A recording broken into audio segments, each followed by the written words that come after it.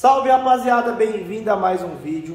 Para quem acompanha nosso Instagram, viu que esses tempos atrás, agora, acho que uns 15, 20 dias atrás, a gente foi em um evento de moto e a gente levou o nosso protótipo com o motor de 150, o 150, 70 mm piratão.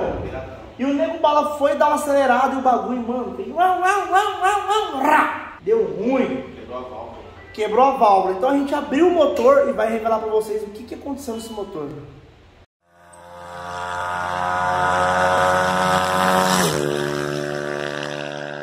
Então o motor tá aqui, neguinho já abriu, já limpou tudo, Ah. teve que trocar até biela pelo jeito. Aqui, a, tipo assim, tá bem frágil, né? Eu, é porque eu não gosto de usar a biela pino 14. Entendi. E como você insistiu naquele pistão usadinho, até Tá. inclusive você até matou, Usadinho do bom. até matou um pistão, depois você matou um novo, depois colocou um usado, né? Furando a cava lá. É isso aí mesmo. Agora eu optei por colocar uma biela de pino 15, entendeu? Entendi. Coloquei o biela pino 15, balancei o virabrequim. Tinha um problema aqui na carcaça. É, os caras ficou jateando, jateando, jateando. Já tinha sumiu E a- acabou sumindo a numeração. Não sumiu, mas apagou bastante. Não deu, ficou meio que irreconhecível, né, mano? O bagulho, Aí né, pra mano? aproveitar que já abriu, eu substituí a carcaça. Já arrumou uma carcaça com notinha, bonitinha. Essa carcaça é zero. Certo. Zero, zero, zero. Tudo novinho, E- bonitinho. E outra coisa, as válvulas de titânio, não sei o que aconteceu, eu sei que não aguentou. Mas a S1000 aguenta, mano. Mas, Minha moto tá com volta até hoje. mas a esse meu tem um conjunto. certo. Rapaziada, não pegou válvula nem nada, a gente não sabe o que aconteceu, não escapou chaveta nem nada, mas a gente não sabe o que aconteceu. Só sei que o bagulho quebrou, mano. E olha aqui o arregaço que fez. Entortou a de escape e quebrou a de missão, certo? Olha aí. Não sei muito bem o que aconteceu, mas deu, Aconteceu. deu problema. E acabou riscando a camisa. Olha o tamanho do buraco que abriu no pistão. Olha isso, o regaço que fez. Então, vamos substituir o pistão. A gente vai usar agora aqui um pistão de CRF 230, Pino 15. um 4 mm e meio, pino 15, certo? Ó, pistãozinho KMP Premium, ó. Tá aqui o pistão, o neguinho vai preparar ele ainda tudo bonitinho. Fizemos outro encamisamento, trocamos o copo, porque o copo fez uns buracos fundos nele, Uns não dava para retificar. Dá. Certo? Então tá aqui o copo. Ah, e outra coisa também. Hum, Quase eu tava esquecendo. A flange. e aquela flange que nós trocou, que nós fez lá, aquela flanjona grande, tá vendo?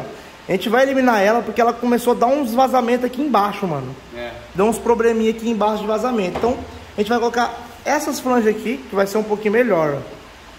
Aqui Eu eu, achei- sei que eu não achei- vai ter vazamento. Não, aqui no caso, é, já fiz a pré-montagem, Hum. não precisou mexer no pistão, nada. Então monta aí pra galera ver como vai ficar esse trem então. Agora vai precisar mexer no pistão aqui. É parte de cava, é, aliviar um pouco o peso nele Só calma. e não vai tirar aqui nada para tirar essas, essas quinas aqui do pistão? Não, dependendo como que nós quiser a taxa, eu não tiro. Eu quero taxa, sabe na onde? Lá No limite. Lá no céu. Taxa no limite. Olha aí, ó, ninguém vai montar aqui o pistão pra vocês verem. In de saída, In de saída e o outro lado é o quê? out de, de entrada.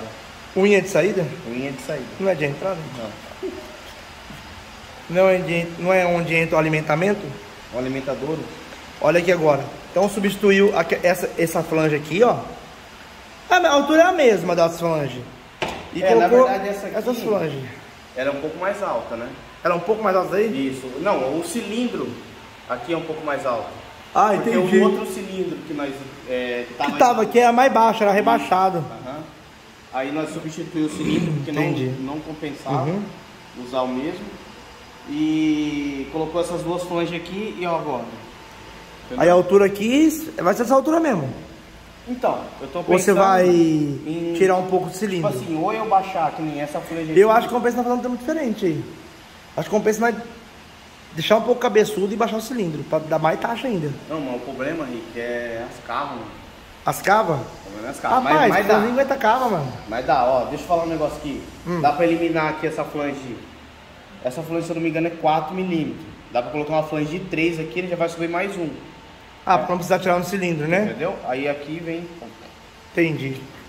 Então, pôr no torno ali, fazer esse trampo, fazer o trampo de cava Fica zero, mano. e pau, mano. Então o motor tá praticamente já pronto. Ah! Ah, tem outra coisa também aqui, ó. ah. Tinha zoado a rosca do virabrequim. Como eu já desmontei por causa disso também. Ah, já tinha zoado Na hora que eu aqui. tirei as tampas aqui, isso aqui tava solto, mano.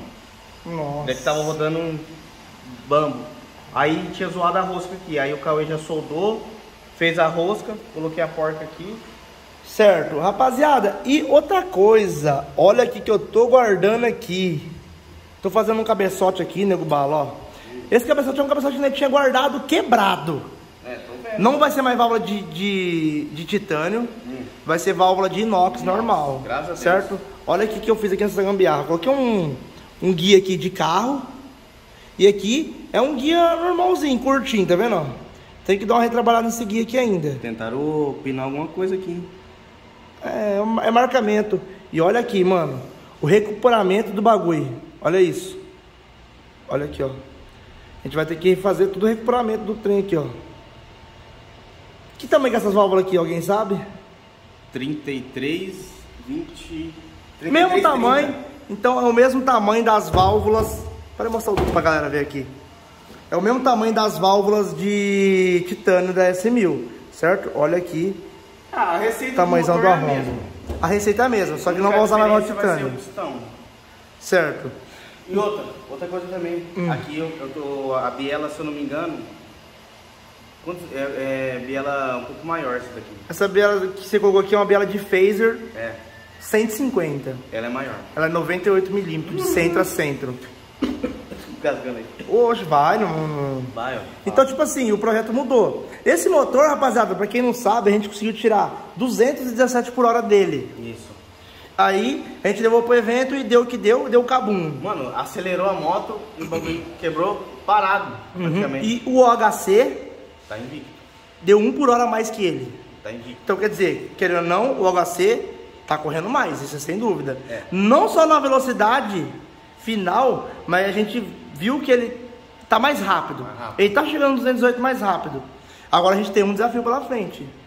É fazer o 150 se igualar ou ser superior ao motor de OHC. Eu sempre falei, desde a época que Eu vou falar um negócio aqui.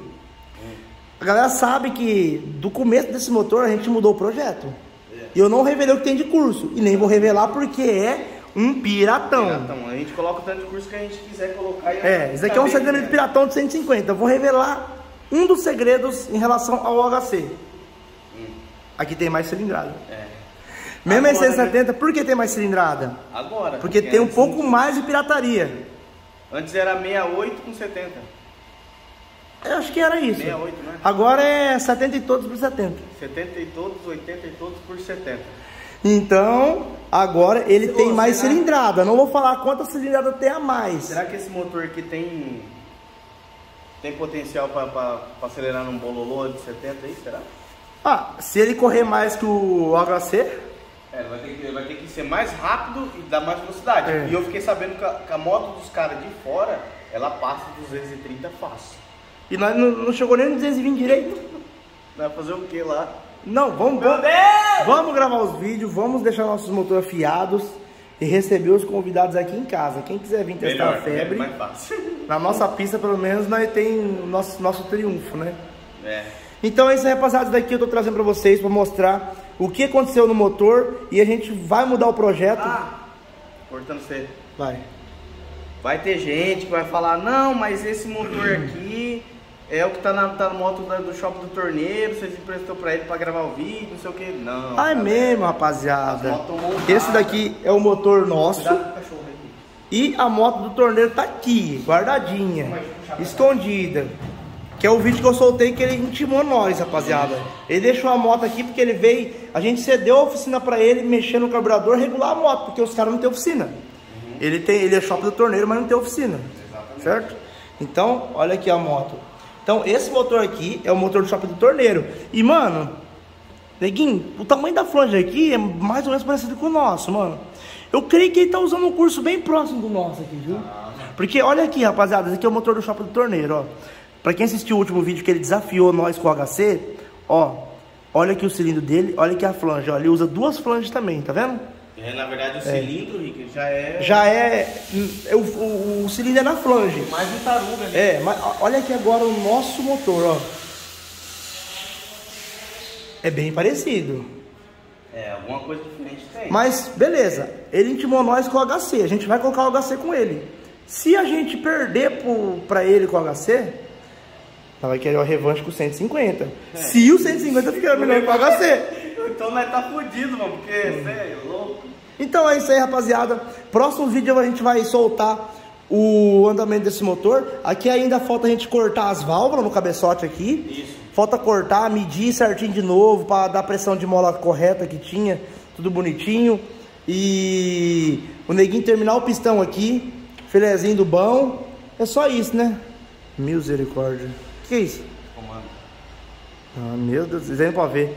Ah, lembrando, esse comando aqui, rapaziada, é um comando exclusivo nosso, Não é para esse motor. Não tem nem como vender um comando desse no Mercado Livre. Não tem nem como vender se a pessoa quiser falar assim, não, eu quero ter um, não tem como.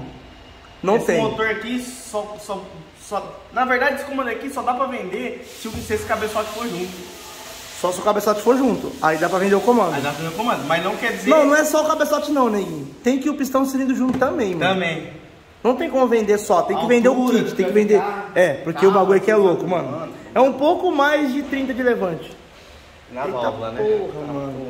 Então é isso aí, a gente vai ficando por aqui. Até o próximo vídeo. Falou, galera! Tá, Fui!